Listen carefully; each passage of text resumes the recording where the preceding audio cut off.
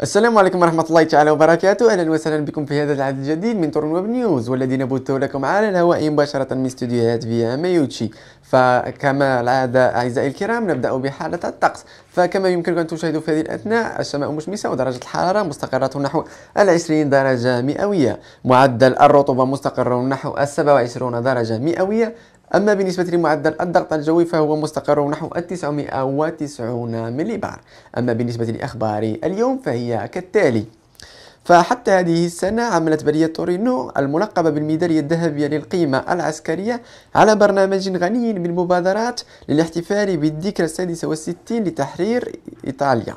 من الاستعمار النازي والتي تحيا كل سنة يوم 25 أبريل. فيمكنكم وجود كل المعلومات حول هذا الحدث بالبيان الصحفي المخصص وكذلك بموقع ال Museo Diffuso della Resistenza هذا وستختم الاحتفالات بعرض موسيقي بميدان سان كارلو ابتداء من الساعة الثالثة بعد الزوال بمشاركة ما يناهز عشرون فنانا.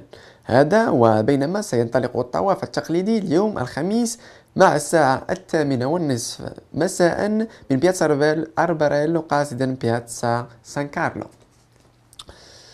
إن كنت تفكر في عطلة قصيرة في أيام عيد الفصح بإحدى العواصم الأوروبية زور صفحات موقع Informagiovani.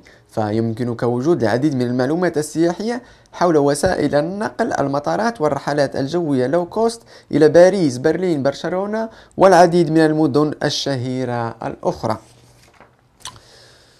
يمكن للعائلات التي تنوي قضاء العطلة الصيفية بالمدينة تسجيل أطفالهم المتراوحة أعمارهم ما بين السادسة والحادية عشر سنة الذين يتابعون المدارس الابتدائية ضمن دورة 2011 لصيف الأطفال والمعروف ب Estate Ragazzi حيث آخر أجل التسجيل هو 13 ماي القادم. هذا وتمول هذه المبادرة من طرف بلدية تورينو ومؤسسة سان باولو. وتجدون اللائحة الكاملة للمراكز المخصصة لهذا الغرض على موقع البلدية. تمنح بطاقة تورينو Musei إمكانية زيارة كل المتاحف متاحف البيمون بالمجان وكذلك الإقامات الملكية والحصون والعروض المرتقبة ضمن برنامج الاحتفالات الرسمية بالذكرى المئة والخمسون لتوحيد إيطاليا والتي ستعقد بأوراش الإصلاحات الكبرى المعروفة بأوجير وكذلك بقصر بناريا الملكي. ثمن هذه البطاقة للعموم للعموم يناهز الأربعين يورو. لكن مكتب انفورما جوباني يمنحكم فرصة الفوز بأربعة بطاقات بالمجان. فللحصول على واحدة منهن يكفي الدخول إلى المكتب إلى موقع المكتب اليوم الخميس 21 أبريل على الساعة الثالثة بعد الزوال. والإجابة على بعض الأسئلة البسيطة للغاية. للمزيد من المعلومات زوروا الموقع.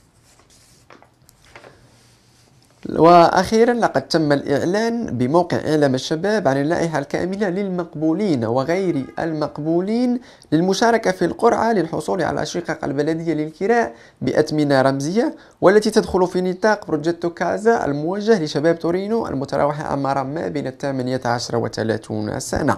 وستجرى عملية القرع عموما يوم السبت 30 أبريل الجاري ابتداء من الساعة الثالثة زوالا بقاعة المؤتمرات بمعرض الفنون العصرية ببيا مجانتا 31 والمعروف بجاليريا دارت موديرنا القام. لقد كانت هذه آخر أخبار اليوم دمتم في رعاية الله والسلام عليكم.